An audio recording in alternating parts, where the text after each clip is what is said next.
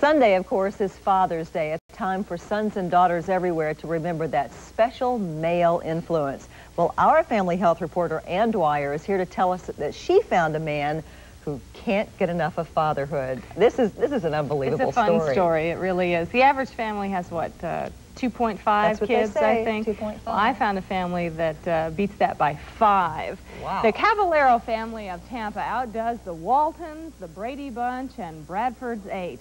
But this is no fictional family. The Caballeros are real. Say hello to Elizabeth, Kate, Anne, Rosemary, Matthew, John, Tom, Louis, Michael, he's at work, and Joseph is away at school. The Caballero clan, six boys, four girls, in that order. Ages 6 to 19, 10 children in 13 years.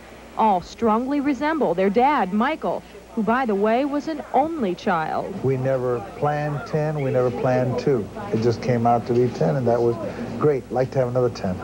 Michael teaches math at Hillsborough High School. Mother Kate keeps plenty busy at home. With financial aid packages, the younger children go to private Catholic schools. The three oldest boys all have academic scholarships to college. One's at Florida State, another at Notre Dame, and Lewis is headed for Dartmouth this fall. They're good kids. They're they're not perfect. They're not perfect. They're like you know, but we've had no heartaches, no real heartaches.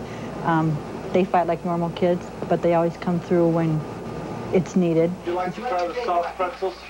The family goes through 10 gallons of milk each week two loaves of bread a day. The grocery bill is $250 a week. Food, clothing, and housing expenses. How do they do it on a teacher's salary? It's been tough. But somebody's been watching out for us. We have never starved. We've been lucky because they're all healthy. 17-year-old Lewis says people are pretty surprised when he tells them he's one of 10. He says there are some definite disadvantages to it, particularly if he brings a girl to the house. Not pleasant. Not at all.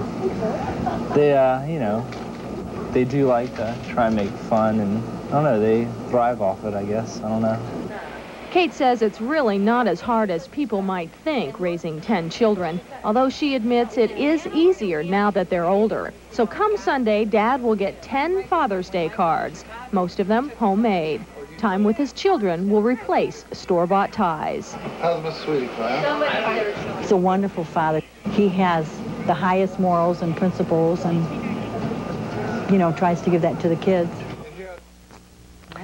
Kathy, they live in a four-bedroom, two-bath house. It is a little crowded, but it is a fun sort of crowded. And Mrs. Caballero says uh, she's always wanted to write a book, and uh, she someday should. she's going to write a book about her experiences and call it I Can't Find the Other Shoe.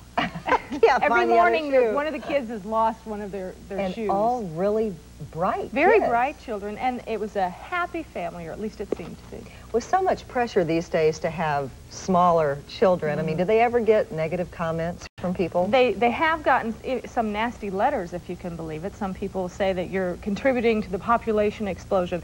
But the family responds by saying, this is our responsibility. We have accepted it. We're not, not asking any, for any welfare or any help from anybody. And, and they are. They're going through with it. And they take care of them. Great, uh, Good family, story. and Yeah, happy sure. Father's Day. That's right. There's a lot more ahead on First News.